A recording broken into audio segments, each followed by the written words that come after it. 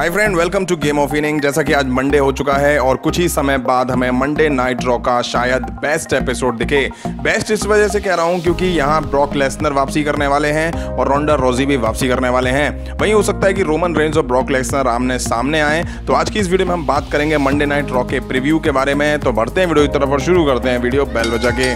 इस हफ़्ते की मंडे नाइट ड्रॉ में सस्पेंशन के बाद रोंडा रोजी वापसी करेंगी। वहीं अलेक्सा ब्लिस और रोंडा रोजी आमने सामने आ सकती हैं। वहीं इन दोनों के बीच समर स्लेम में मैच भी फिक्स हो चुका है। जैसा कि हमने पहले देखा था कि सस्पेंड होने के बाद भी रोंडा रोजी ने आके अलेक्सा ब्लिस पर अटैक करा था। तो कहीं ना कहीं इस वीक हमें अलेक्सा ब्लिस रोंडा रोजी पर अटैक करते हुए दिख सकती हैं।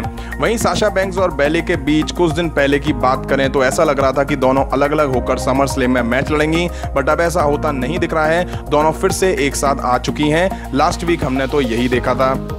वहीं इस वीक के लिए फिन बेलर और कांस्टेबल बैरन कॉर्बिन के बीच मैच सेट हो चुका है। वैसे इनके बीच हमें फ्यूड एक्सट्रीम रूल्स पीपीवी से पहली शुरू होती हुई दिखी थी। वहीं इनके बीच इस वीक मैच फिक्स होने की वजह यह थी कि लास्ट वीक बैरन कॉर्बिन का बैक स्टेज फिन बेलर को चढ़ाना हुआ था। वहीं ऐसा लग रहा था कि इनके बीच शायद हमें समर स्लेम में भी फिर से मैच दिख सकता है। वहीं लास्ट वीक हमने देखा था कि सैथ रॉलिंस और फिन बेलर ने intercontinental champion Dolph Ziggler और ड्रू मैकेंटायर को हरा दिया था।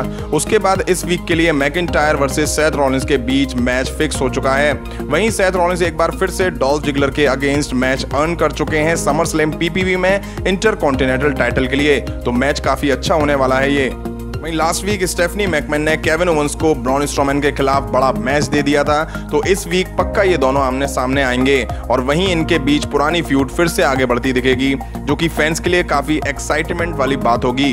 ब्रॉन स्ट्रोमैन समर स्लेम से पहले ही केविन ओवंस को मसल कर उनकी हालत खराब करना चाहेंगे, ताकि केविन ओवंस उनके खिलाफ समर स्लेम में डर के रहें।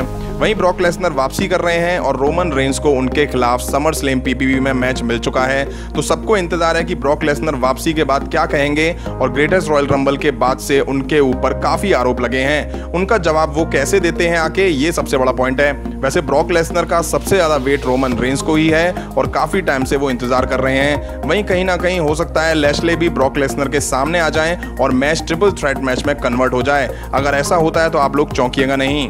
बॉबी लैशली इस टाइम डब्ल्यू में बड़े प्लेयर के रूप में दिखाई दे रहे हैं और उनके लिए अभी कुछ नहीं दिख रहा है समर स्लेम के लिए। उम्मीद ऐसी है कि वो शायद ब्रॉक लेसनर और रोमन रेंस के मैच में ऐड हो जाएँ, वरना हो सकता है कि लैशले हमें समर स्लेम में मैच खेलते हुए ना दिखें, जो कि अच्छी बात नहीं होगी। तो फ्रेंड वाकई इस वीक की रॉ का एपिसोड काफ़ी अच्छा हो सकता है क्योंकि Brock Lesnar Ronda Rousey Braun Strowman Kevin Owens Roman Reigns Seth Rollins Drew McIntyre इन सभी के बीच हमें कुछ ना कुछ होता हुआ ज़रूर दिखने वाला है। फ़िलहाल इस वीडियो में इतना ही। पसंद आए तो लाइक और शेयर करें इस तरह के इंटरेस्टिंग अपडेट्स के लिए चैनल के सब्सक्राइब बटन पर the super kick marker channel subscribe करें। मगर प्यार से थैंक यू